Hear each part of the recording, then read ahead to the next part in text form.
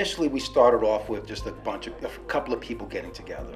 We didn't have an official name. We were just out shooting. And then there were some defining moments. Uh, March 20th being uh, one defining moment where, when the governor has shut down the state, a lot of people had uncertainty as to where we're going in the future, what can happen in their lives. Uh, a lot of people felt at risk, and then all of a sudden, you started to get all these phone calls from people who are both uh, firearm owners and also people who are looking to get firearms.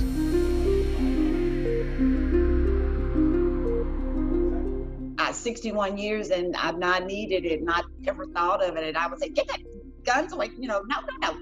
But now my views have changed because I guess the world is changing. Racial tension, there's a lot of uh, divide on every, in almost every arena that you can think of. So uh, it's it's just been, you know, something that people have felt they needed.